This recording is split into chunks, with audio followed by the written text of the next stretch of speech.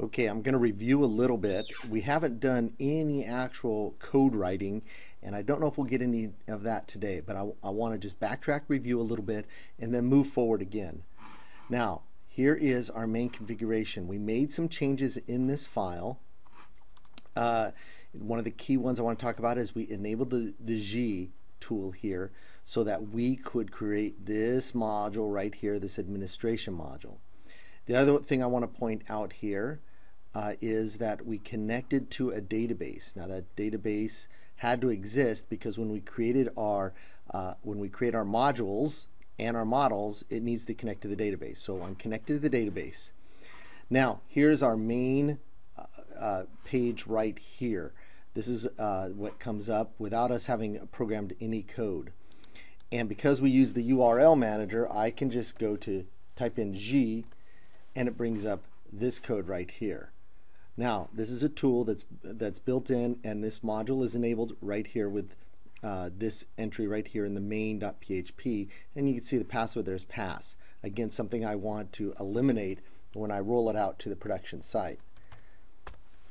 Okay, here I can, with the Gii tool, create models, modules. Remember, we created the um, administration module. Now, just to review again, a module is not a model. You can see the only model we have are these built-in ones that are fake. They don't connect to any database. But we have this administration module here. This administration module will launch the page that will get executed um, on the administration and it will load all of the models and components that are unique to this module.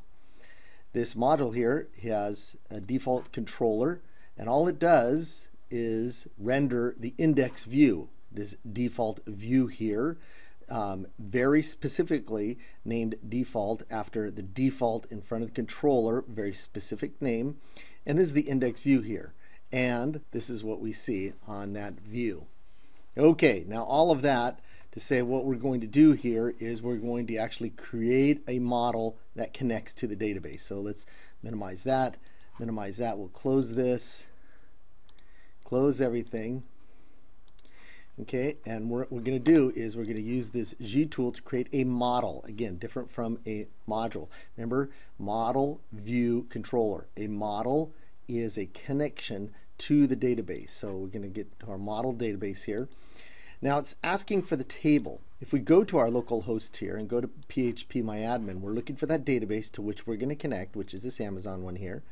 And we see this these tables. We're going to connect to this users table right here and it says what is the table name? Well, we know it's users. This is going to be the name of the module, capital U for for the for the model. Now here it's going to create the model, capital U, users. Okay, it found it, it connected. It's a C active record, which has a lot of uh, abilities there, but we'll get to that later, and we'll say generate. Now if we go over to our code here and we look at our models, we see here that we have a new model here, a users. And all this users does is extends the C active record class and then sets up all these things here, some of which we will talk about later, but it's a default model. I haven't done any programming yet. Now, not only do I want to create a model, but I want to create all of the abilities to create, read, update, and delete. And I'll do that by using this CRUD generator. And I had to have the model first. So it says, what is the model? Well, we know that it's capital U users. I'll preview and it says, these are all the files that I'm going to create. Uh, I'm not thrilled with some of the naming, but we'll get into that in just a second. So I'll say generate. You see there's one, two, three, four, five, six, seven, eight, nine, right? Files. We'll generate them.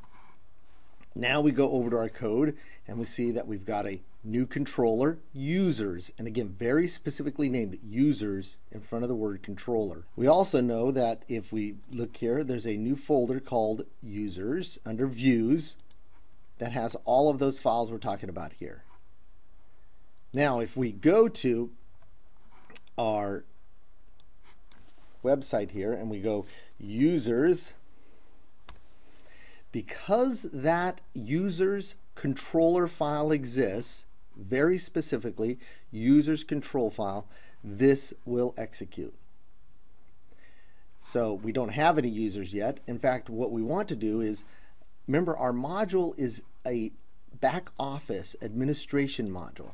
And that's really where we want to do things like uh, manage users, add them and whatnot. So what I'm going to do is I'm going to take this and put it into the module administration module. Not only am I going to do that, but I'm going to take this users folder and put it under the views. Okay, so now I got default and users. Now if I refresh this, it'll say 404, I didn't find it.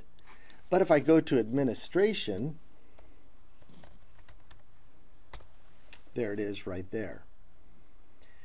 Now, one of the first things that we're going to want to do is when we create our users is that we're going to want to limit who has access to that.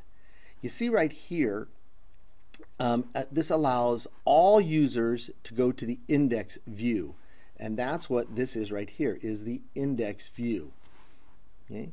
Now, uh, what I want to do is I want to eliminate uh, who can use this users, but I've got to set up users, so it's kind of a catch-22. So what I'm going to do is I'm going to set up users and decide who can have access to the administration module, all of them, and also who can have access to this users. So these are all actions that we can take in the controller. View, we can create. So let's watch how this works here.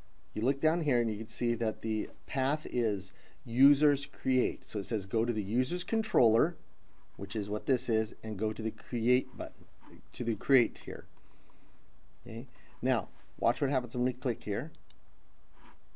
It asks me to log in, and the reason is is because only people who have uh, authenticated can create and update.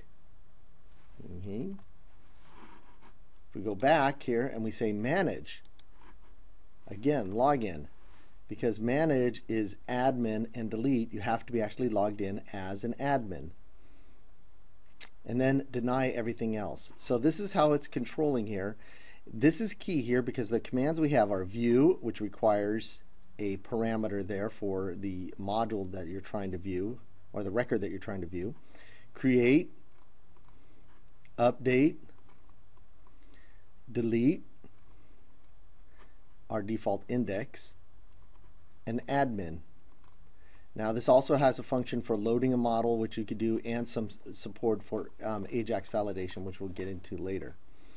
Okay, so we really haven't done much. We've created a new model, users, and you notice that I did not move the model. The model stays here at the base level. Not really necessary. I could have put it in the administration module, but I'm going to leave all my models here at the base level. And the only way to access those models is through controllers, and my controller is in the admin level. So next time we're going to kind of get into a new module. We do the Gii module and the administration module. And we're going to do a, another uh, component, which is authentication. And it just requires a little bit more explanation.